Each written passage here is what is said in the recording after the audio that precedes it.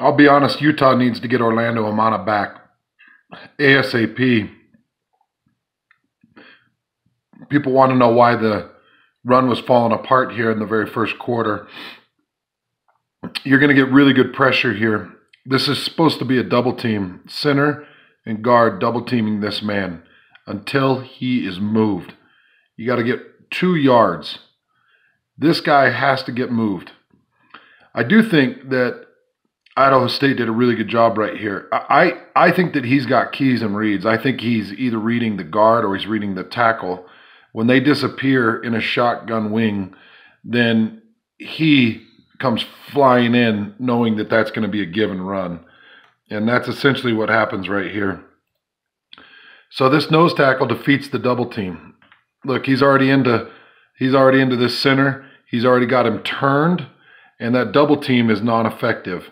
And now he's held him right at the line of scrimmage. That's key number one to this. That's issue number one to this. Issue number two is watch this linebacker read his keys and react and come right downhill and into this run play.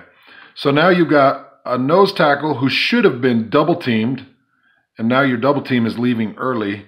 You can't leave until this man is off the line of scrimmage.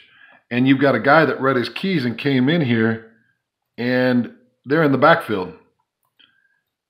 There, there's not much Moss can do, man. That's just that's just swarming and good reads and good keys, and that's that's a victory right there by that nose tackle, that defensive tackle.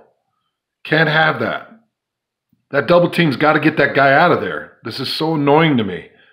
You know, you got two monster Utah offensive linemen that are getting beat by an Idaho State tackle. That can't happen against USC. So you're missing your center, and that that was uh, very apparent in the first few plays of this uh, opening series.